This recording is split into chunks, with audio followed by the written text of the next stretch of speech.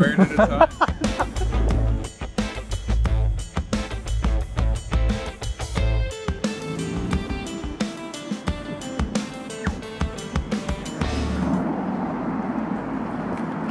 What is going on today guys? Welcome back to my YouTube channel. Uh, today we're doing another burrito review as you can see. Pablo Picante, the home of the Trinity students. They do love it here apparently. Um, they do always think they know best. But uh, we won't worry too much about that. We've got some signs here says best burrito in Ireland. Um, so we'll see about that. I actually had a bit of a run-in with these guys recently. They wouldn't give me the student discounts, even though I showed them a card from 2019. And you know, with the COVID and stuff, it could be expected that you couldn't get it renewed or something. So they're a little bit feisty in there. But sometimes we don't mind feisty that much. Um, looks good, it's warm. It's nice and compact. Let's see how it tastes.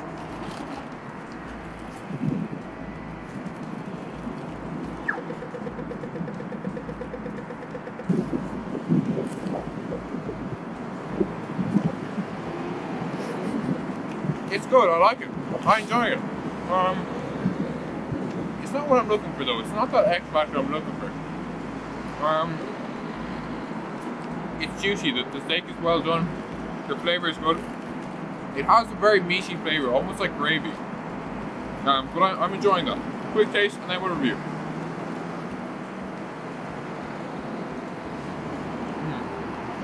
Mm. Loads of meat there, as you can see. It's a solid burrito.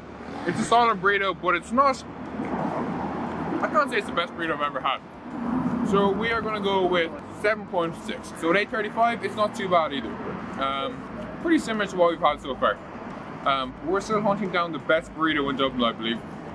But it was enjoyable. so today we're here with Victoria. Victoria, an avid Pablo Picante customer. Oh my god, travelled from Tallaght. yeah. I'm not kidding.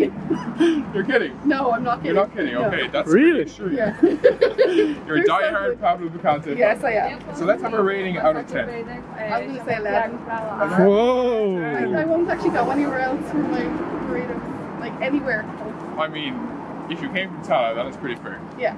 Okay, so that's Victoria's rating here. Thank you very much, You're for very that, Victoria. Have a nice day. And yeah, that's all for today's video, guys. Thank you very much for watching, and have a nice day.